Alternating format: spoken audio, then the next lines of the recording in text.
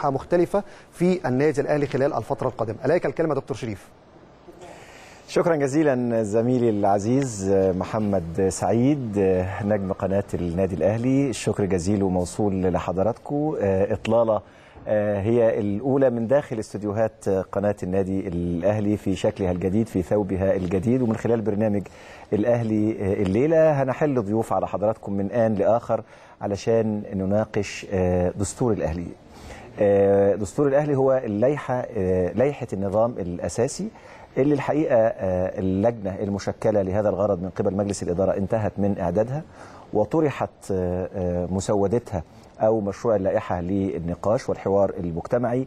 ليتفضل السادة أعضاء الجمعية العمومية بالاطلاع عليها وبالنقاش حولها وأيضا عرض مقترحاتهم بشأن بنود ومواد هذه اللائحة اللي بتزيد عن 120 بند الحقيقة أو مادة. هذا الدستور وهذه اللائحة بتأتي اتساقا وتناغما مع قانون الرياضة الجديد. اللائحة الحقيقة بذل فيها جهد كبير جدا من قبل لجنة الإعداد اللي كان بيتولاها القامة القانونية الأهلوية الكبيرة المستشار محمود فهمي وكان بيشارك من آن لآخر مع اللجنة الكابتن محمود الخطيب رئيس مجلس إدارة النادي الأهلي. حتى انتهت المسودة أو المشروع وطرح للنقاش. أصبح متوفر على كل المواقع الإلكترونية في كتيبات اتوزعت على السادة الأعضاء الرائع الحقيقة أنه الأعضاء تقدموا بمقترحات عدة حول بعض بنود هذه اللائحة. الأروع أنه اللجنة المركزية لإعداد اللائحة استجابت لكثير من هذه المقترحات وعرضتها على مجلس الإدارة اللي وافق على ستة منها في اجتماعه الأخير اللي انعقد يوم الاثنين الماضي. الحقيقة أنه عندنا مهمة كبيرة ملقاة على عاتق أعضاء الجمعية العمومية. أعضاء الجمعية العمومية للنادي الأهلي اللي دايما بيضربوا المثل والقدوة في الحفاظ على ناديهم في يعني بنقول إيه بيمثلوا حائط الصد المتين تجاه النادي الحفاظ على حقوقه خاصة أنه فكرة طرح اللائحة للمناقشة ربما هي المرة الأولى اللي بيقدم عليها نادي في مصر. مع كل التقدير للأندية اللوائح طرحت للتصويت مباشرة لكن النادي الأهلي لأنه النادي الأهلي هو قاطرة الرياضة في مصر وبيقدم المثل والقدوة حريص على صنع لائحة تليق باسم نادي القرن. يشارك فيها أبنائه يشارك في صنعها أبنائه وبالتالي هذه اللائحة تأتي فنيا متسقة مع قانون الرياضة ومع الدستور لكن بنكهة النادي ال ال الأهلي طيب إيه المطلوب مننا؟ عندنا يوم 28 سبتمبر الحقيقة التصويت على هذه اللائحة ما زال باب الاقتراحات مفتوح حتى يوم 9 9 ثم ستعمل لجنة الصياغة على الشكل النهائي لهذه اللائحة قبل أن تعرض مرة أخرى على الأعضاء للتصويت عليها يوم الجمعة 28 سبتمبر. وزي ما الأهلوية الحقيقة زحفوا صوب معقل النادي الأهلي في الجزيرة في 30 نوفمبر 2017 للتصويت في انتخابات مجلس الإدارة بجمعية عمومية هي الأكبر في تاريخ النادي الأهلي اقتربت من 40 ألف. إحنا متوقعين إن شاء الله إنه يكون في إقبال أيضا كبير من أبناء النادي الأهلي على هذه اللائحة ليصنع أو لتصنع عائلة الأهلي اعضائه وجمهوره. دستور على جديد للنادي الأهلي زي ما كان عنده دستور غير مكتوب طوال 111 سنة هيكون عنده أيضا دستور لكن هذه المرة مكتوب من خلال لائحة النظام الأساسي. قررنا خلال هذا البرنامج المهم ومن خلال شاشة قناة النادي الأهلي اللي الحقيقة بشكر زملائي فيها وبشكر الزميل العزيز الكاتب الصحفي الأستاذ خالد توحيد وزملائه على هذه الروح اللي بيبثوها والالتزام بالمهنية والموضوعية هنطل على حضراتكم من آن لآخر نناقش بعض بنود هذه اللائحة. الاستراتيجية العامة إيه المطلوب مننا؟ إيه اللي مجلس الإدارة عمله؟ إحنا كأعضاء جمعية عمومية مطلوب مننا إيه؟ طب الجمهور ليه دور؟ صحيح ملوش دور في التصويت لكن ليه دور؟ هنتعرف عليه من خلال الحوارات اللي هتدور على قناة النادي الأهلي. وأيضا من خلال بعض الأسئلة اللي هطرحها على ضيوفي الكرام واللي هنبدأ النهاردة بضيف مهم وواحد الحقيقة من أعضاء مجلس إدارة النادي الأهلي والأهلاوية اللي بينتموا ليه بكل حب وعشق هو السيد الأستاذ طارق أنديل عضو مجلس الإدارة اللي اسمحوا لي أرحب بيه في بداية هذا اللقاء. برحب بحضرتك أستاذ طارق أهلا وسهلا. أهلا وسهلا أستاذ وبشكرك على تلبية الدعوة. أنا يعني كلمناك النهارده آه ظهرا لكن آه يعني دايما أبناء الأهلي آه في سرعة استجابة الحقيقة يعني لأنه فكرة إنه يكون السادة أعضاء مجلس الإدارة وممثلين معانا يطلعوا يخاطبوا جمهور النادي الأهلي وأعضاء وأعضاء الجمعية العمومية عشان يشرحوا لنا آه، أهمية وجود لائحة للنادي الأهلي. آه، ده شيء آه، محمود أنا بشكر حضرتك عليه. شكرا جزيلا. شكرا أستاذ شريف وطبعا بشرب بوجودي في قناة الأهلي وبشرب بالسادة المشاهدين وتحت أمر حضرتك. أشكرك. اتفضل. خليني أسألك في البداية آه، النادي الأهلي آه، يعمل طبقا للائحة الاسترشادية اللي وضعتها اللجنة الأولمبية. تمام. وتمت الانتخابات على أساسها. آه، ليه مجلس الإدارة حريص على إعداد لائحة للنظام الأساسي للنادي الأهلي تصوت عليها جمعيته العمومية؟ آه، ليه إحنا حريصين على وضع لائحة آه، أهمية اللائحة. أهمية اللائحة. الأول هكلم حضرتك على الوعد اللي إحنا قلناه عشان كده حريصين إن إحنا السنة دي بالذات إن شاء الله يكون موجود لائحة تليق بالنادي الأهلي. آه، إحنا من في البرنامج الانتخابي أيام أيام الانتخابات كنا بنتكلم على ضرورة إن شاء الله من أول سنة نكون انتهينا من إعداد اللائحة مكان اللائحة الاسترشادية. لائحة تليق بالنادي الأهلي. وعندنا فكر برضو إن الجمعيه أول جمعية يوميه تنعقد آه، في الدورة الانتخابية بتاعتنا اللي هي في 28 10 إن شاء الله إنها لا يصح إنها تقام على لائحة غير لائحة النادي الأهلي نعم. إنها تكون اللائحة انتهينا منها آه، اللوائح نفسها آه، حضرتك عارف إن اللائحة هي حاجة مؤسسية تليق لازم تكون بتلبي رغبات أعضاء الجمعية العمومية تمام. وما تكونش خارجة عن المشروعية بتكون في إطار القانون اللي هو قانون الرياضة ال- ال- القانون طبعا بيكون في إطار الدستور واللائحة تكون في إطار القانون. آه، إحنا ظلينا فترة كبيرة في إطار القانون القديم آه، اللي هو قانون رقم 77 لسنة 75 ال- القانون ده ما كانش فيه استثمار رياضي القانون ده كان في ظل الهواية. قبل ما الرياضة تبقى صناعة صناعة كمان. آه يعني مليارات على مستوى العالم كله أحد الصناعات المهمة في العالم يعني. فعلى مدار سنين إحنا كنا بنشتغل كرياضة في مصر آه، بلوائح كانت بتوضع من قبل الوزير المختص آه، للرياضة في مصر. النادي الأهلي كان سباق طول عمره يمكن من حقبة الثمانينات والتسعينيات والنادي آه، عنده إصرار إن هو من خلال مجلس إدارته إن هو يكون في لائحة تليق بالنادي الأهلي تكون موجودة. آه، أتذكر إن هو في أيام مجلس كابتن حسن حمدي وكان صحيح. كابتن محمود خطيب إن في جمعية يومية انعقدت لإقرار مشروع لائحة وبرضه لم يكتب لها الاعتماد من الجهة. الإدارية.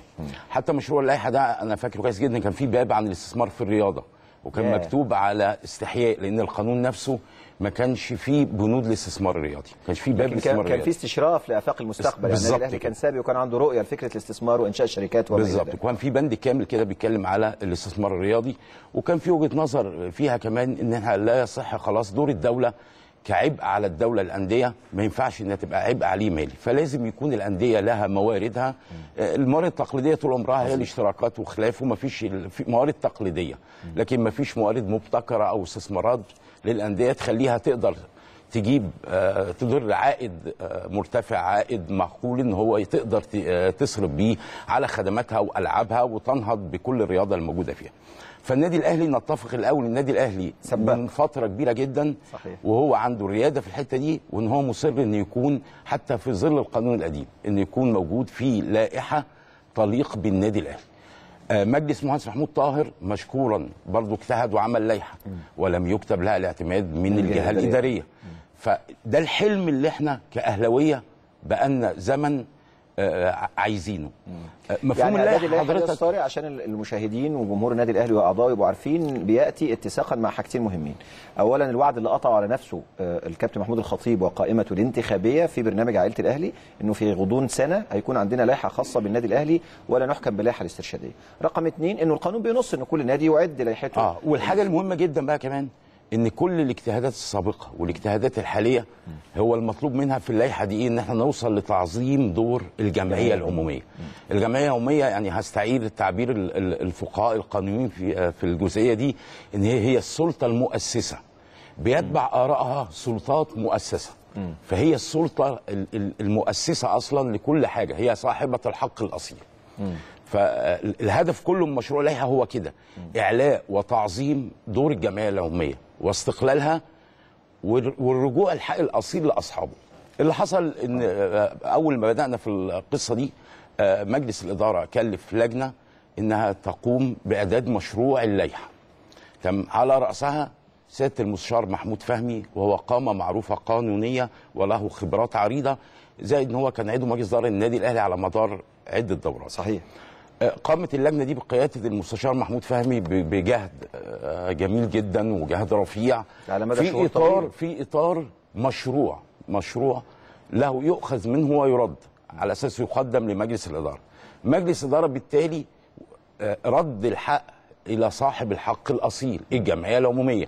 عملنا خارطة طريق غير مسبوقة في تاريخ الأندية المصرية؟ ما حصلتش في جمعية عمومية في, في الأندية المصرية في اعتماد لائحة. إن نطلع بمشروع نعرض المشروع على جموع ال- من أعضاء الجمعية العمومية. اعضاء الجمعيه العمومية وجماهير النادي الأهلي وم- ومتاح للعامة والنقاد والمفكرين لأن النادي الأهلي ما بيخصش النادي الأهلي لوحده. النادي الأهلي ده أحد القلاع الرياضية أهم قلعه رياضية موجودة في في الوطن العربي. النادي الأهلي له الريادة. النادي الأهلي لما بيعمل حاجة لا المفروض عليه عبء ده تكليف عليه عبء وطني لأن بيتلوه ده قدر يا فندم. قدره وبيتلوه مباشرة إن الأندية بتحذو بت- حذو. بتحذو حذو هو ده النادي الأهلي. وعليه العبء ده. فلازم يعمل حاجة تليق بيه وتليق بالرياضة المصرية وحاجة محترمة. فبالتالي وضعنا خارطة طريق إن يبدأ المشروع يرجع لل... لل- للجنة ومجلس الإدارة نبدأ نعرضه على ال- ال- المجموع أعضاء الجمعيه العموميه والمفكرين زي ما قلت لحضرتك وعلى العامة كلها. نشر على كل المواقع على صفحات التواصل الاجتماعي. الناس تدلي بآرائها. ده لدرجة إن مجلس الإدارة رغبة منه في إنه آه، آه، يكون في فرصة لأعضاء الجمعيه العمومية ولكل الحقيقة أطياف المجتمع اللي حضرتك اتكلمت عنهم يدلوا بدلوهم في هذا الأمر. طرح ال- اللائحة آه، أو مشروع اللائحة للمناقشة. سريعا دون أن يكون هناك عملية تدقيق آه، لغوي وضبط بس. هستأذن حضرتك إحنا ال- ال- أشرنا لكده. البعض كان إيه آه أنا بقول لحضرتك البعض كان يعني بي بي بي بيرى في إنه هذا ربما قصور أو بينتقد لكن كان في إصرار من المجلس على إنه يطرحها بحالتها كده آه، آه، آه، إصرار والحاجة الثانية إحنا قلنا الكلام ده. وقلناه وأعلناه في. خريطة الطريق إن لسه في لجان صياغة وفي وفي في حاجات في مراحل كتير بس لازم إن إحنا ندي الوقت الكافي لأعضاء الجمعية العموميه إن هم يقدموا اقتراحاتهم ويبصوا على البنود دي. فبدأنا طرحنا الكلام ده آه، وأعلنا عن آه، موقع ال- الإيميل اللي هيتلقى الاقتراحات. صحيح. آه، حاجات كتيرة قوي سواء اتوزعت مكتوبة ومطبوعة وعلى كل المواقع. تلقينا الاقتراحات جوه النادي. أقول لحضرتك أكتر من كده إحنا في الم- آه، مراحل الفترات ال- الأيام الس- ال- الماضية حتى الاقتراحات الاجتهادات اللي بتيجي لأعضاء مجلس من خلال يعني آه، بعض الناس ما بيبعتش على الإيميل أو غيره بيبعت اقتراحات. بيقابلك على بنستقبلها. آه عملنا لجنة مخصوصة قريب للحاجات دي اللي هي تتلقى الاقتراحات اللي, اللي مش جاية كمان من خلال الموقع أو الميل أو خلافه يعني ما فيش رغبة من مجلس الإدارة إنه صنع هذه اللائحة ودفع بيها إلى الأعضاء واتفضلوا صوتوا عليها هي ده المشروع اللي إحنا عايزين نمرره. لا في رغبة لمجلس آه، لا، لا، رغبة أقصدش. مجلس الإدارة ال- هو ال- تعظيم دور الجمعيه إص- إصرار على المشاركة طبعا. طبعاً. ما بتكلمش آه. عن كده أنا بتكلم عن إن عن المحتوى عن المضمون. يعني المجلس الاداره ليس له مصلحة في إنه نصوص ما يتم تمريرها أو اعتمادها. مجلس الإدارة بيرج يعني بيعطي الحق لاصحابه زي ما حضرتك تفضلت إنه الجمعية العمومية هي اللي تصنع معهم وتكون شريكة في صنع مجلس. الإدارة كعهد جميع مجالس إدارات النادي الأهلي على مدار تاريخهم المصلحة الوحيدة هي الجمعية العمومية. عظيم. وجه الوقت والتوقيت اللي هي فرصة لينا إن أنت لإعلاء وتعظيم دور الجمعية العمومية. القانون القديم كان لا يسمح ليك بكذا جالنا قانون هدية. إن الجمعية العمومية اللي إحنا كنا بنكافح عليه من زمان جالنا دلوقتي. فبالعكس هي فرصة ذهبية آه، إن إحنا نفرح بيها إن إحنا نعمل لائحة تليق بالنادي الأهلي. مصلحه مجلس الإدارة هو تعظيم دور الجمعية العمومية وإن يكون في لائحة تليق بالنادي الأهلي تبقى لكل الأجيال ال- التالية وال صحيح. والحاجة اللي برضو معلش يا أستاذ شريف. هستناك في حاجة أف- لا لا أنا مش عايز اقطع حضرتك الطريق. بس حضرتك سعيد ب ب بالتفاعل ومشاركة الأعضاء والمقترحات على اللجنه الصالحه مئات الاقتراحات جت. آه على فكرة حتى مش عايز أقول اختلافات عندنا في النادي الأهلي مفيش حاجة اسمها اختلافات. آه هي في رؤى تباين في النظر. تباين في وجهات النظر. اللي هي بيطلع عنها في الآخر منتج صح يليق بالنادي الأهلي. فلا جالنا مئات الاقتراحات حاجات كتيرة جدا بالعكس إحنا بنتابع كمان ما يكتبه النقاد. يعني النقاد وال... آه، مهما اختلفت ميولهم. آه، ميولهم الكروية يعني سواء أندية أهلي أو زمالك أو لهم كل الاحترام. كل ما يكتب تم متابعته وخلينا لجان قاعدة مخصوص تتابع الكلام ده خلال الفترات اللي فاتت. مئات الاقتراحات اللي جات لنا دي حاجة طبعا اسعدتنا اسعدتنا للتفاعل اللي موجود لأن في النهاية ما يهمنا هو النادي الأهلي. طبعا. آه، والحاجة الثانية إن دي إن شاء الله تبشر إن في جمعية عمومية هتليق بالنادي الأهلي لإقرار اللائحة دي وحتى اللي له اعتراض له كل آه، يعني بعد ما تطلع في صيغتها النهائية بعد كل التعديلات والصياغة والكلام ده المعترض له كل الاحترام بس رجاء منه إن هو يشارك دلوقتي عنده فرصة ويشارك للإدلاء برأيه. للإدلاء برأيه في الحق يوظف الحق اللي هو اداهوله القانون واللي إحنا حريصين إن هو يرجع الحق زي ما قلت لحضرتك عايزين الحق يرجع لصاحبه هو الجمعيه العمومية للنادي الأهلي. وهزيد لحضرتك ووارد جدا بعد ما نخلص كل البنود والاقتراحات والصياغة إن ممكن في الواقع العملي يطلع بند أو بندين يمكن يكون ما توافقوش مع الواقع العملي. موجود جوه اللائحة برضو آليات تفعيل إن أنت تقدر بعد كده. تعدل من خلال الجمعية العمومية آليات التعديل موجودة طب لو حضرتك لو القانون نفسه مفيش منتج اتغير. بشري كامل يعني. آه لو القانون نفسه لو القانون نفسه قانون الرياضه حصل فيه بعض التعديلات هيطلوها وقتها إنك لازم تعدل في لائحتك لتتواكب مع القانون. نفس الحكاية موجود جوه اللائحة الكلام ده آليات تعديلها. فالمصلحة هو النادي الأهلي. صحيح. كعهد كل أبناء النادي الأهلي. طيب آه إن شاء الله إن شاء الله. والتعديلات لغاية 9 9 مفتوحة للجميع واللجنة بتمارس عملها ليل ونهار. عشان آه، يعني إحنا وصلنا في ال- خلال الأيام اللي فاتوا في ست تعديلات أقرت من مجلس الإدارة وفي لسه عندنا يوم السبت في حاجات كتيرة. اللجنه شغالة باستمرار. خليني أقف مع حضرتك في النقطة دي. يعني مجلس الإدارة أقر إجراء تعديلات على ست مواد؟ تمام. ده نزولا. على على رغبة على رغبات أعضاء آه، الجمعيه الاميه أعضاء بما. يتلائم مع القانون طبعا. طبعا طبعا. آه، آه يعني كان في توافق بين المقترحات اللي وصلت في بشأن ست آه، آه، بنود أو مواد دول يا أستاذ طارق. آه آه. آه يعني وبالتالي في- ارتأى المجلس إن هو يقبل في تواقف وحصل مناقشات مننا في اللجنة فيها. وتم عرض برضه والمجلس اتناقش فيها. عظيم. يعني آه، لأن زي ما بقول حضرتك المنتج اتبعت لأصحاب الحق. بعد كده إحنا بنبص على اقتراحات إيه وال- والتعديلات اللي ممكن تتعمل. طيب لسه في فرصة لتعديلات على مواد أخرى؟ آه موجودة. موجودة. ما ما فيش ده ما فيش حاجة اسمها غير قابل للتعديل. ده وزي ما برضه حضرتك اعلنا من الأول ده مشروع اللائحة. بالعكس إحنا يعني آه، آه، بندي ال- الفرصة لنفسنا إن يطلع منتج زي ما بقول لحضرتك يليق بالنادي الأهلي وبجمعيته العموميه يعني في في مجموعة بنود مقترحات؟ آه آه بقت- اللي هي اتعدلت already آه ست بنود. آه تعديل في بعض الحاجات المتعلقة بالجهات أو هيئات قضائية في بعض البنود في بند البنود. أضيفت مادة جديدة خاصة بلجنة التظلمات ودي كانت برضو مثار إن الناس طلبوها. آه آه تم وضع تحديد لل- للجزاءات وإسقاط ال- العضوية من خلال الجمعية بيد الجمعية العمومية.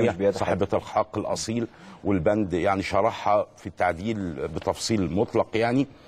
آه، في بند لغط اللي هو آه، إلزام المطلقة أو الأرملة من آه، من- عن سداد لسداد نصف قيمة المبلغ المقرر لقبول الأدوية الجديدة. دي عايز اتوقف عليها شوية. هو تم تعديل المادة على طول على فكرة ب- ب- بال- بعد المناقشات اللي حصلت وبالرجوع للمستشار محمود فهمي. آه إن على طول تم إلغاء ال- الجزئية دي وتم التعديل فيها. إن هو آه، إذا استوفت شروط العضو العام ال- السالف ذكره في المادة وبتحسب العضوية عائدتها العاملة ورسم الاشتراك المقرر من تاريخ الزواج.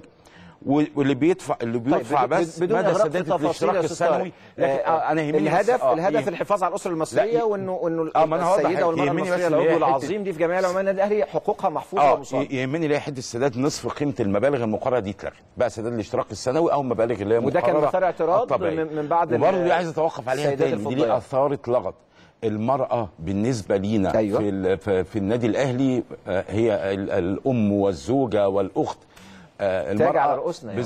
بالظبط كده وأكبر دليل إن في نفس اللائحة ال- المشروع اللائحة اللي موجود في بند اللي هو خاص بتشكيل مجلس إدارة في اللي هو جزئية التعيين البند ده اللي هو لسه برضه آه، بيبت فيه يعني في ما, ما, فيش حاجة نهائية فيه آه خليني النقطة دي مكتوب فيه يعني. مدرج فيه تعيين امرأة فيعني هي نفس اللائحة اللي إحنا بن... اللي ممكن حد يقول اللي هي حتة ال...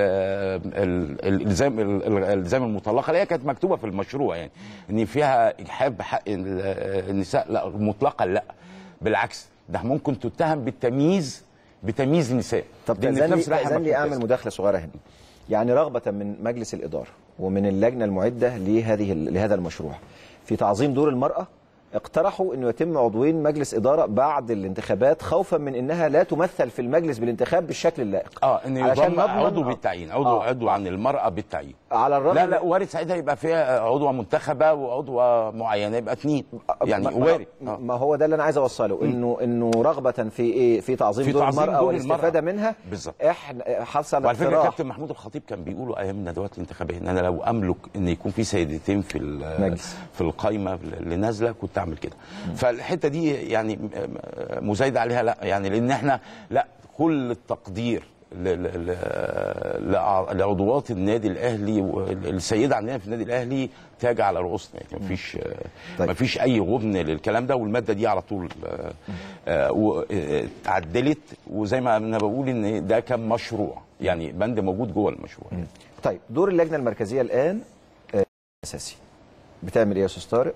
وإيه خريطة الطريق اللي حضرتك بتتكلم عنها؟ إيه ال ال يعني الأسابيع والأيام القليلة المقبلة هيحدث بخصوص لائحة النظام الأساسي. الآليات اللي موجودة لسه لغاية دلوقتي إن إحنا عمالين نستقبل وبيتم حصر يعني بقول لحضرتك مئات من الاقتراحات للتعديلات اللي تحصل يعني. آه فاللجنة ما زالت مستمرة في عملها. كويس. لغاية قبل آه إن شاء الله المفروض 9 9 ده آخر ميعاد إن إحنا نتلقى التعديلات ليه 9 9 برضو؟ عشان الناس تبقى عارفة. عشان في فترة مهلة للجمعية العموميه اللي هتنعقد إن شاء الله يوم 28 يوم 28 اللي هي 9 9 ده آخر موعد لتلقي المقترحات. آه، بحيث يعني المنتج كل النهائي أعضاء. الجمعية العمومية ورموز الفكر والمجتمع في ال- في في مصر وكل محبين النادي الأهلي يقدروا بعد ما يقروا اللائحة اللي عنده أي مقترح يبعته بالطريقة اللي تم الإعلان عنها إلى آه، آه، بكل اللائحة. طرق وبكل وسائل هذه. المقترحات كلها بيتم دراستها بالظبط. من قبل اللجنة وتعرض على المجلس إذا ارتأى أنها للمصلحه العامة فبيتم إقرارها. آه، 9 9 يبدأ الصياغة النهائية لل... بعد 9 9 تبدأ الصياغة النهائية لشكل اللائحة بالظبط. التي 9 9 ستطرح على السادة. الأعضاء للتصويت عليها بالظبط. 28 سبتمبر عشان. كده حددته 9 9 طيب هل هتقابلوا الناس هتشرحوا لهم هتردوا على استفساراتهم؟ يعني يعني دور مجلس الإدارة واللائحة واللجنة المركزية آه، من ضمن برضو خ- خارطة الطريق اللي موجودة إن عندك ورش عمل على طول بتنعقد وهتنعقد كتير خلال الفترات الجاية. فيها من أعضاء النادي من أعضاء مجالس إدارات السابقين على مدار تاريخهم الموجودين من المفكرين. كله هيشارك في ورش العمل دي برضو عشان نوصل إن لو في أي تعديل لائق بالنادي الأهلي أو أي مقترح يتم الأخذ به. الحتة الثانية المهمة برضو اللي بدأنا نعملها الفترة اللي فاتت إن آه، آه، بدأنا الإدارة نفسها التنفيذية بدأت تعمل لقاءات مع العاملين بالنادي. العاملين العاملين وده جزء مهم جدا. لأن أنا النهارده هضرب مثال مثلا ب- ب- بالاشتراكات أو ال- ال- العضوية يعني. آه, آه. إخواتنا في النادي اللي, اللي شغالين في المفروض إحنا الفترات برضو الأيام الجاية هيحصل آه انعقاد لينا لقاءات لينا كممثلين للجان للجنة. اللائحة معاهم. آه، قد يكون عندهم رؤية جديدة لأن هم اللي بيحتكوا دايما بال- بالأعضاء وبمشاكل الاشتراكات اللي موجودة والعضويه. الحاجة الثانية أنا يهمنا كمجلس إدارة إن كل العاملين بالنادي المنتج برضو الأخير يكون هم مقتنعين بيه. لأن هو في النهاية اللي بيقابل ال- العضو في مشاكل آه. يعني زي مشاكل مشاكل العضويات دي كتيرة جدا في كل الأندية. أنا يهمني إن الراجل المسؤول عن الاشتراكات في النادي الأهلي أما يجي حد أما يجي أحد الأعضاء المحترمين هو بي بيناقش. في حاجة يرد عليه رد مقنع يرد عليه يقول له دي كذا وحلها كذا. أو ليه اللائحة قالت فيها الكلام ده. إنما ما يبقاش ان آه، وده جزء برضو من مفهوم عائلة الاهلي إن إحنا كلنا بنتكلم تحت لغة. واحدة. بالظبط تحت و- مظله وبعدين زي ما حضرتك تفضلت إن الإدارة التنفيذية هي الأكثر احتكاكا بالسادة ال- الأعضاء وبالتالي آه، بتبرز بعض القضايا والمشاكل آه، مع التطبيق على الأرض بيكونوا هم أدرى بيها. لما بيتم تلافيها أو وضع بنود لحل هذه المشكلات ده في مصلحة آه، آه، النادي الأهلي بشكل عام يعني أعضاء وحتى جمهور و- وعاملين. حتى الجمهور لم يغفل لأن النادي الأهلي وضعه مختلف برضه عن معظم الأندية. النادي الأهلي الجمهور ينزل يصوت ولا لا؟ في في في اللائحة اللي هي روابط المشجعين. روابط آه المشجعين طبعا. هايل. وعلى فكرة ومن ضمن الاقتراحات اللي بنستقبلها بنستقبلهم كل أعضاء جمعيه عموميه والجمهور بيبعت. لأن في النهاية هو دي الطبيعة الخاصة للنادي الأهلي.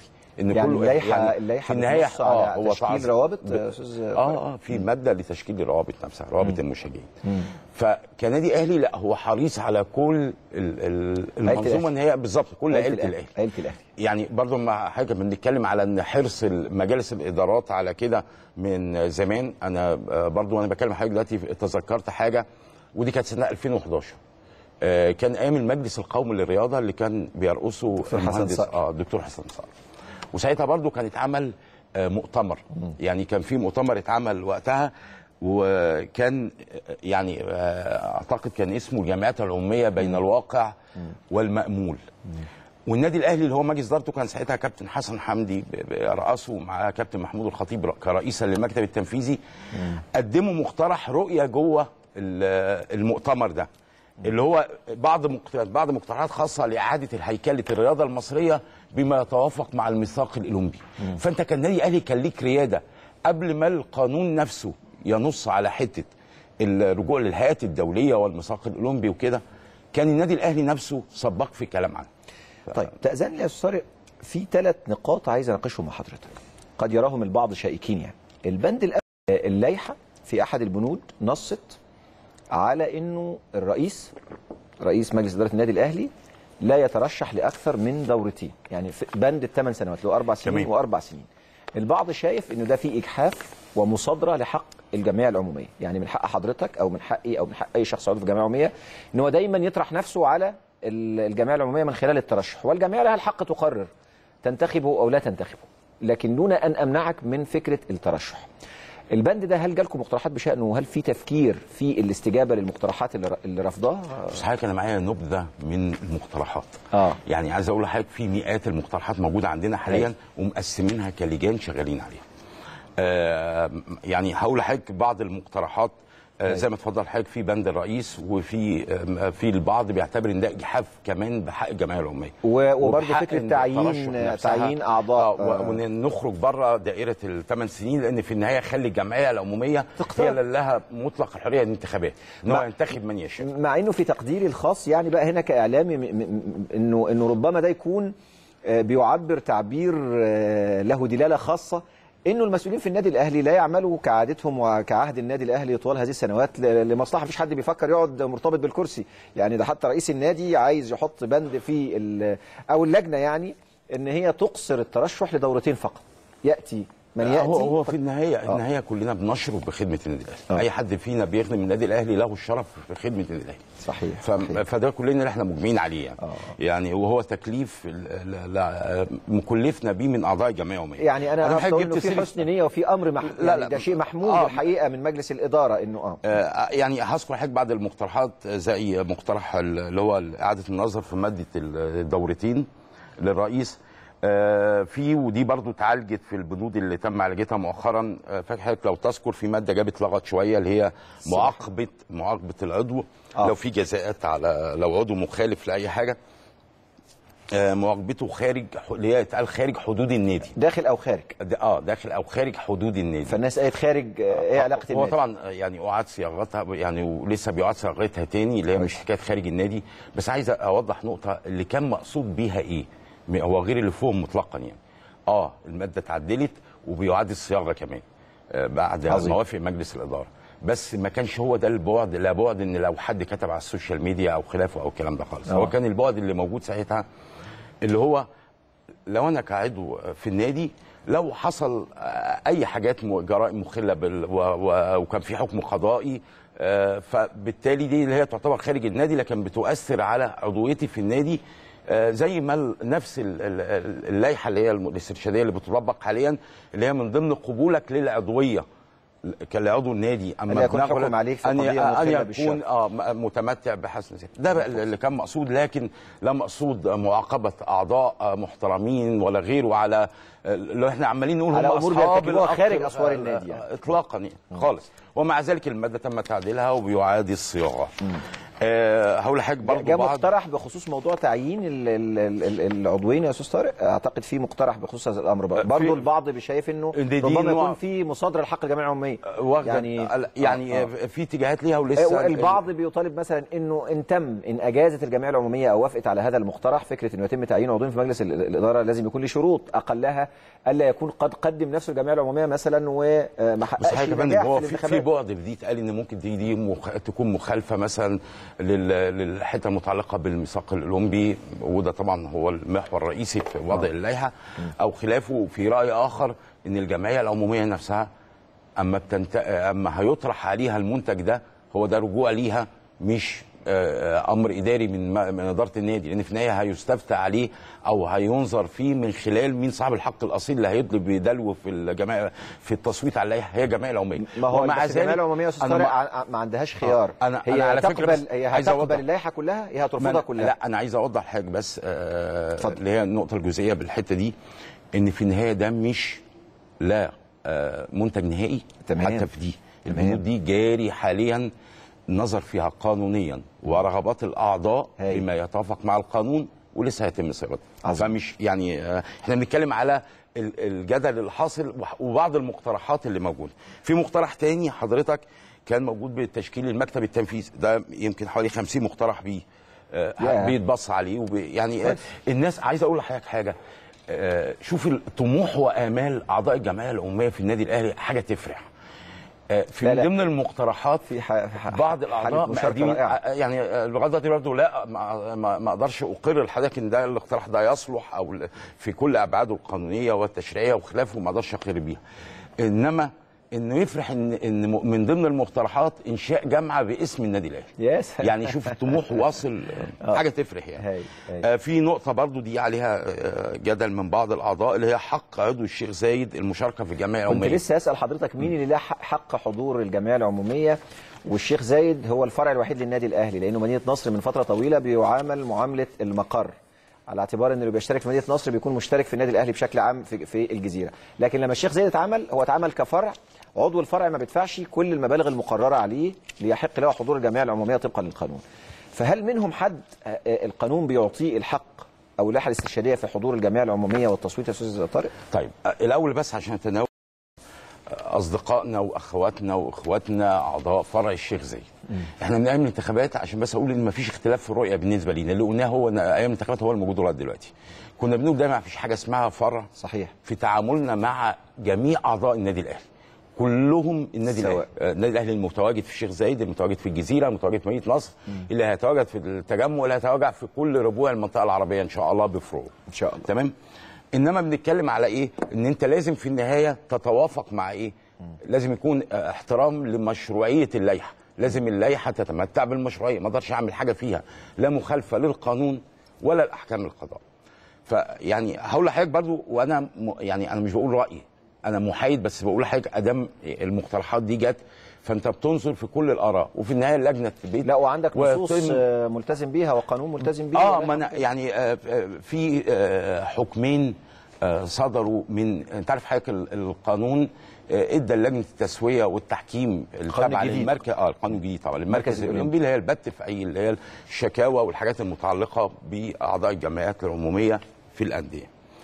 ففي أحد الأندية قعد أعضاء جمعيتها المحترمين آه، طعن في المادة 8 من اللائحة الاسترشاديه اللي بتطبق على النادي ده.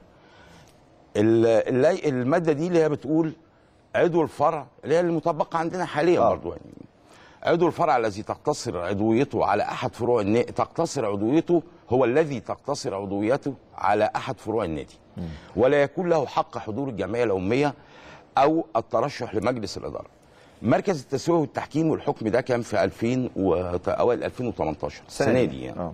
مركز التسويه والتحكيم باللجنة الأولمبية قال وصف نص اللائحة اللي هو. بتاع اللائحة الاسترشاديه اللي هي بتدي ما بتديش لحق عضو لعضو الفرع ترشح. أو حضور جمعية عمومية قالت إن النص ده قائم على سند صحيح سواء من الواقع أو القانون وتم رفض الدعوة آه. آه في نادي آخر أنا يمكن معايا برضو لأن إحنا عاملين لجان لفحص كل طبعا أنا بقول لك مع الاخذ في الاعتبار والاستفادة من اولا إحنا كاعضاء. مجلس اداره متواجدين باستمرار في فرع الشيخ زايد. صحيح. الشيخ زايد بنعتبره جزء أصيل من عائلة الأهلي. ده مجلس اداره عقد اجتماعين هناك. بالظبط كده. كبير جدا. يعني- الخطيب بينزل يعمل كل آه، شغله آه، واجتماعات إنما القصة أنت ما تقدرش تعمل حاجة مخالفة لا للقانون ولا الاحكام القضاء لها كل الاحترام. في برضو نادي آخر حصل إن أحد آه، أعضاء الجمعية العموميه آه، قدم برضو لمركز التسويه والتحكيم آه، رفع دعوة على بند معين في اللائحة. حكم المركز نفسه بتاع التسويه والتحكيم آه، تطرق في حكمه للحتة دي أنا ممكن اوريها لحضرتك عند الحكم هي نفسه هي أحكامه قضائية يا أستاذ طارق مش كده؟ أحكامه على طول تبقى يعني لأن ده, ده هو ده ال- ال- المخول ليه طبقا آه. بيقول إنه أضف إلى ما تقدم إنه في حالة إقرار حق أعضاء فرع النادي في حضور اجتماع الجمعية العمومية وانتخاب مجلس إدارة النادي والترشح في الانتخابات فإن ذلك يعني إعطاء من لا يملك ما لا يستحق فكيف يتولى عضو الفرع وهو بلا منازعة من طرفي الخصومة وليس عضوا في النادي الرئيسي وليس له أي حق فيه إدارة وتصريف شؤون النادي من خلال حضور اجتماع الجمعية العمومية وانتخاب مجلس الإدارة والترشح له. ولا يقاس في ذلك على عضو النادي الرئيسي الذي هو عضو أيضا في الفرع ويتمتع بكافة حقوقه في شأنه شأن النادي الرئيسي. يعني ما فيش مجال للمقاربة بينهم زي ما النص بيقول. عضو النادي الرئيسي بيروح النادي الفرع وبيستفيد منه، لكن عضو الفرع ما يقدرش يحضر اجتماع الجمعية العمومية ولا يكون له حق الترشح ولا الانتخاب. وبقول إلا إذا. إلا إذا إيه يا أستاذ؟ آه، إن هو عدل العضوية دي العضوية. في الشيخ زايد وفي ناس عدلت عضويتها خلال ثلاث. سنين ثلاث آه. سنين له الحق إنه يبقى عنده عضوية النادي آه، كلها يعني آه. كاملة بكل آه، مقراته. برضه كرر تاني اتفضل. أعضاء الشيخ زايد بالنسبة لينا. إحنا كاعضاء مجلس اداره لهم كل الحقوق والواجبات الحاجات بس اللي هي متعلقة قانون. بقانون أو مشروعية اللائحة أو خلافه هي دي اللي ما أو أحكام قضاء ما بنقدرش نتكلم فيها. لكن إحنا بنعتبرهم هم جزء أصيل من عائلة الاهلي طبعا. إحنا ممثلين عن أعضاء فرع الشيخ زايد وعن أعضاء الجزيرة وعن أعضاء مدينه نصر وعن أعضاء أي فرع سيتم افتتاحه. إن شاء الله. ولنا الشرف في كده يعني. طيب آه يبقى الوقت آه خارطه الطريق بتقول إن 9 9 ستتوقف آه إن. قبول الاقتراحات. لجنة الصياغة تشتغل. يتم آه إعداد اللائحة في شكلها النهائي اللي هيتم عرضها على آه أعضاء الجمعية العمومية لقراءتها مرة أخرى قبل الانتخابات بثمان أيام ثم التصويت عليها يوم 28 تسعة 28 سبتمبر. آه من حالة الحراك الرائع والمشاركة العظيمة لأعضاء الجمعية العمومية دي حضرتك شايف إنه الاهلاويه أعضاء الجمعية العمومية أو أبناء النادي يعني هيتوجهوا لحضور هذه الجمعية يا أستاذ طارق؟ وإيه اللي مطلوب منهم في هذا اليوم؟ آه، إن شاء الله أنا على يقين في كده. لأن زي ما بقول لحضرتك تاني آه، ده حلم الاهلاويه على مدار بقالنا عشرات السنين إن يكون للنادي الأهلي لائحة خاصة بيه. أنا على يقين إن أعضاء جمعيه من النادي الأهلي للنادي الأهلي عندهم من النضج الحمد لله ومن كل النضج الكافي اللي هم يبقوا حريصين على إعادة حقوقهم. يرجع لهم الحق الأصيل. الحق يرجع لأصحابه لأعضاء جمعيه يومية. إن هم يقروا لائحتهم الخاصة بهم.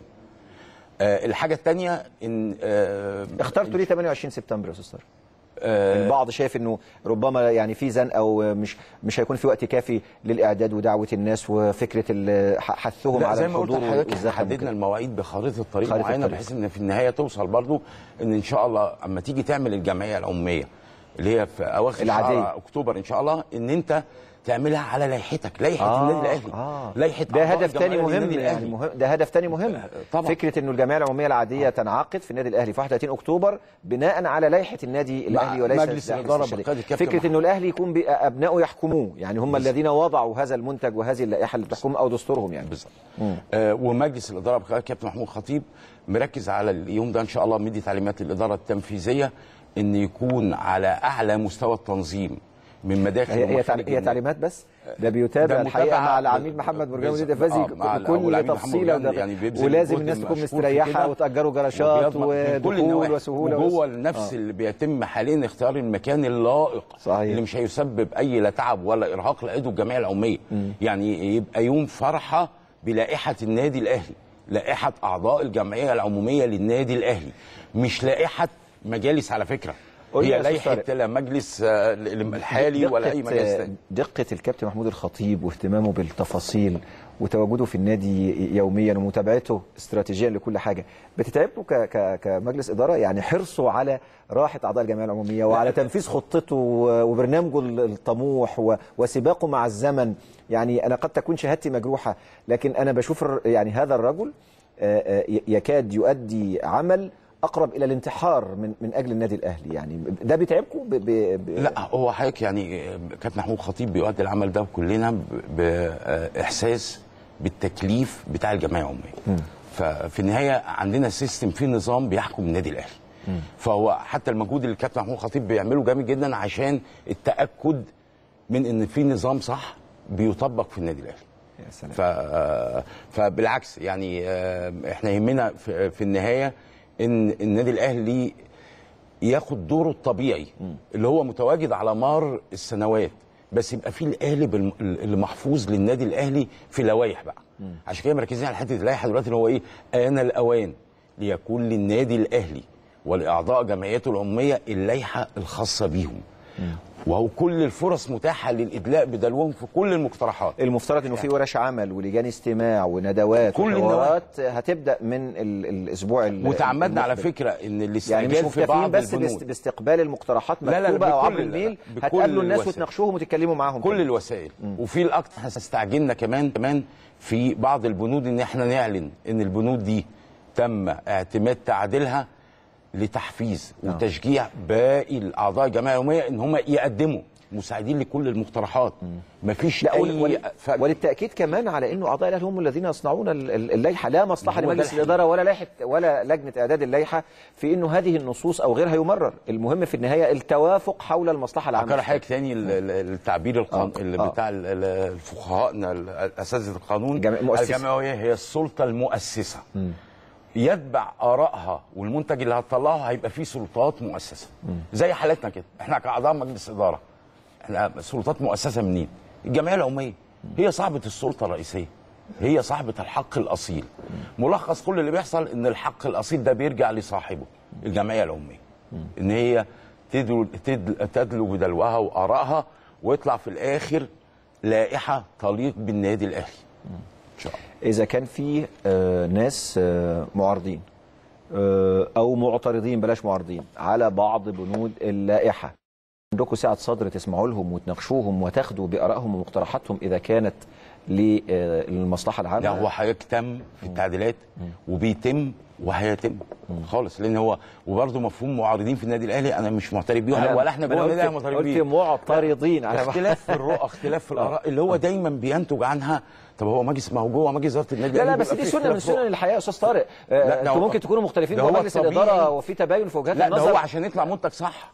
هو لازم اختلاف رؤى عشان تطلع منتج آه، صحيح. مظبوط في النهاية صحيح. يعني ما ال ال ال فكرة ال الاستثمار حضرتك قلت حاجة مهمة جدا وكلنا مؤمنين بيها وإنه الرياضة وكرة القدم تحديدا أصبحت صناعة. استثمار وصناعة كبيرة جدا كان في يعني تخوف لدى الجماهير ولدى محبين النادي الأهلي من فكرة الشركات اللي هيتم تأسيسها وإيه ضمانة سيطرة النادي الأهلي آه، وعائلة الأهلي على ملكية هذه ال ال ال ال ال الشركات ليبقى الأهلي مملوك للشعب المصري جمهورا واعضاء يعني. آه، برضو لحفظ حقوق الجمعية العمومية في هذه الجزئية. آه، في لجنة هو بيرأسها وبيقوم على عاتقه معالي الدكتور فاروق العوده محافظ البنك المركزي الأسبق. هاي. شغال في القصة دي في بند الاستثمار عشان يطلع برضو والدكتور فاروق العوده مشهود له. يعني الحمد لله دوره سواء دوره الوطني لا، ده قامة اقتصادية آه، واستثمارية وعقلية ف- عظيمة. فلحرصنا وفي مادة اتحطت وجاري برضو ما أقدرش أقول في مواد نهائية غير اللي هو الست مواد اللي هو ومش نهائية كايه كصياغة لسه. لكن إن إحنا بنبادر نقول للجمعيه العموميه ولكل محبين النادي الأهلي لا أي تعديل قابل نعدله ونبعته مفيش حواجز في القصة دي. مفيش. ولا في أغراض غير النادي الأهلي وغير الجمعية العمومية. مصلحة تعظيم دور الجمعية العمومية. الجمعية العمومية هتكون يوم الجمعة 28 سبتمبر. إن شاء الله. وبالتالي ده موعد إجازة. الناس تنزل تقضي يوم آه، رائع يوم في النادي عرس جوه النادي الأهلي. يعني طبعاً. على مسؤوليتك ومسؤولية مجلس الإدارة إنه هيكون يوم آه، يوم إن شاء الله. طبعاً. ممتع يعني طبعاً. الناس الناس. تعبت يوم الانتخابات آه، هو طبعا كان لاسباب كتير وكان و- إقبال منقطع النظير آه, آه. وليها ظروف وهيبقى في إقبال منقطع النظير إن شاء الله برضو بس إن شاء الله هيكون في ترتيب هيكون أكثر من رائع آه. ومش طعن في أي ترتيبات سابقة على فكرة آه. كل توقيت بيبقى لها ظروفها في الاعداد لا لا. لا نستفيد من ال- نستفيد من بالظبط. ال- من التجارب السابقة يعني, يعني. يعني لو آه. المجلس السابق موجود وجه بيرتب تاني انتخابات هيرتب أحسن. كان هيرتب أحسن من الأول آه، بالظبط، لهم بالظبط. كل أبناء النادي الأهلي على فكرة لهم كل الاحترام مرة- وكلهم ما بيسعوش غير حاجة واحدة بس هو النادي الأهلي الشيء. الحقيقة اللي, اللي يدعوك للفخر والاحترام رجالات النادي الأهلي هو تقديرهم لبعض يعني مرة كنت بتكلم مع كابتن محمود الخطيب على هامش حاجة كده في آه، خطه مجلس الإدارة ورؤيته والبرنامج الانتخابي وإنه أحلامه دي لو تحققت فبقول له يا ده أنت هتبقى أنجح رئيس نادي في تاريخ النادي الأهلي. إن- انزعج جدا. فقال لي. قال لي يا شريف آه إحنا بنكمل بعض. كل ابن من أبناء النادي الأهلي بيجي يحط طوبة في بناء هذا النادي. ولا تجد أبناء النادي الأهلي آه، يعني يتحدثوا عن بعض إلا بكل تقدير واحترام. وإعزاز لكل ما قدمه وحاجة ده اللي موجود لغاية دلوقتي الحمد لله جوه النادي آه، الاهلي ده جوه وسيبقى. مجلس الإدارة نفس الحكاية. مفيش حد متنافس مع حد جوه مجلس الإدارة. كله بيكمل بعضه مع زميله في الحاجات اللي في النهاية تعود على النادي الأهلي. حتى في اللجنة يعني لجنة اللائحة نفسها كان في زملاء أفاضل معانا موجودين في اللائحة آه، آه، بخل... يعني كان في ال- آه، طبعا كابتن محمود الخطيب بخبراته كرئيس مكتب تنفيذي لأكثر من عشر سنوات كان متواجد باستمرار في في اللجنة. في آه، النايب آه، الأستاذ العمري فاروق بخبراته السابقة كوزير وخلافه كان معاه ملفات كتيرة في الرياضة في مصر متواجد الاستاذ إبراهيم الكفراوي بخبراته الرياضية والمصرفية الاستاذ محمد جمال الجرحي بخبراته أيضا. محمد آه، الجرحي، ال- مع حفظ الدكتور سعد الله. بيدلي بدلو ما شاء الله يعني قمة في التسويق الرياضي. آه، الأستاذ محمد مرجان مدير الإدارة تنفيذي، التنفيذية. آه، المدير التنفيذي للنادي بيدلي بدلو في القصص كعضو جوه اللجنة. آه، الأستاذ محمد فتحي آه، مدير إدارة الش- الشؤون القانونية. يعني أقصد إن منظومه عمل متكاملة دي دي ومتماسكة. لجنة موجودة. وفي نفس الوقت أعضاء مجلس الإدارة اللي هم مش في اللجنة برضه بيلدوا بدلوهم وبيساهموا وبيجوا بيحضر يعني من كل النواحي هو ده مفهوم النادي الأهلي. لا في حاجة خاصة ورا القصة دي. الهدف زي ما أقول لحضرتك إيه لو حضرتك تحط عنوان للائحة النادي الأهلي وكل خارطه الطريق اللي معمولة هي تعظيم دور الجمعية العمومية للنادي الأهلي طب وإعادة القيم- الحق لأصحابه. القيم بقى كمان اللي مجلس الاداره بيرسخها وأبناء الأهلي بيرسخوها يا أستاذ طارق إنه مجلس الإدارة واللجنة المركزية لل- لل- للائحه آه، سترسل طبقا لآخر قرار لمجلس الإدارة هذه اللائحة لكل أعضاء مجلس الإدارة السابقين في النادي الأهلي. ربنا يديهم الصحة اللي موجودين على قيد الحياة. لرؤساء النادي الأهلي السابقين. هو جاري الكلام ده حاليا آه إن هو آه. ارسال كل على ال- الكابتن حسن حمدي ربنا يديله الصحة وطولة العمر آه، المهندس محمود كل طاهر. أعضاء مجلس وهم مدعوون ومدعوون للادلاء طبعاً، آه، طبعاً. ب لائحة النادي الأهلي. من خبراتهم. مش لائحة مجلس دي لائحة النادي الأهلي مش لائحة مجلس معين. آه. آه، الحقيقة دي كانت إطلالة عامة. يعني رؤية استراتيجية كده في الختام قبل ما أشكر حضرتك في في حاجة حضرتك حابب تتكلم فيها يا طارق؟ أنا في إجابة على سؤال أنا ما طرحتوش آه، آه، في رسالة حضرتك عايز توجهها في هذا اللقاء الممتع اللي أنا بشكر حضرتك عليه؟ آه الله يحفظك يا أستاذ شريف. آه كل برضو اللي أحب أركز عليه تاني اتفضل. اللي هو آه أنا كعضو جمعيه عموميه للنادي الأهلي.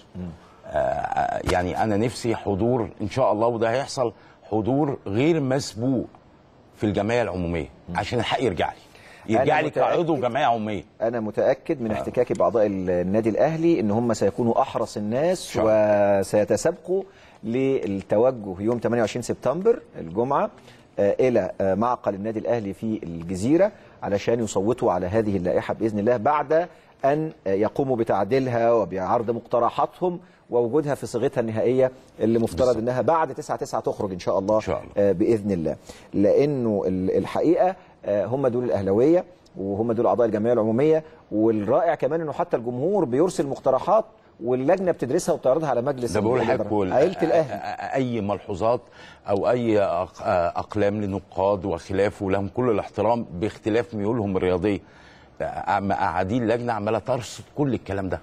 أي اقتراحات أو أي انتقادات في أي بنود أو أي تعديلات ممكن تحصل إحنا مرحبين بكل الآراء هايل. لإصدار منتج يليق بالجمعية العمومية للنادي الأهلي. يبقى إحنا في انتظار الصيغة المثلى لهذه اللائحة آه، بعد صنع أبناء النادي الأهلي آه، ليها وتلقي مقترحات أعضاء الجمعية العمومية آه، ثم التصويت عليها إن شاء الله يوم 28 سبتمبر. زي ما قلت لحضراتكم هذه كانت إطلالة عامة مع السيد الأستاذ طارق أنديل عضو مجلس إدارة النادي الأهلي المحترم اللي كلمنا عن أهمية آه، وضع لائحة للنادي الأهلي عن دور الجمعية العمومية اللي هي السلطة المؤسسة وهي صاحبة الحق والقرار في آه، كل شؤون النادي ال- الأهلي. مجلس الإدارة ليس له أي مصلحة إلا المصلحة العامة وإعداد دستور يليق بنادي القرن. ويستمر لسنوات آه، طوال يحمي هذا العرين ويحمي هذا ال- الكيان اللي بينتمي ليه الحقيقة عدد كبير من ال- المصريين أو الأغلبية ال- الكاسحة دون آه، آه، تعصب. وبالتالي الآن آه، أعضاء النادي الأهلي وأبنائه مدعوون للاشتباك للحوار للقراءة للتعديل للاقتراحات ثم التوجه آه، إلى آه، آه، معقل النادي الأهلي في الجزيرة يوم 28 سبتمبر لتحقيق النسبة القانونية المطلوبة آه، اللي بتزيد عن 12000 عضو 12500 13000 أكيد أكيد أنا متأكد وعلى ثقة إنه أعضاء الأهلي هيقدموا ملحمة في هذا اليوم وهيكون العدد أكبر من كده بكتير إن شاء الله. بكرة إن شاء الله هنكون مع حضراتكم ومعانا آه، عضو مجلس الإدارة تحت السن النشيط الأستاذ محمد الجرحي ولنا لقاءات متتابعة بإذن الله وصولا إلى يوم 9 9 فاصل والزملاء مستمرون معكم في برنامج الأهلي الليلة. ابقوا معنا.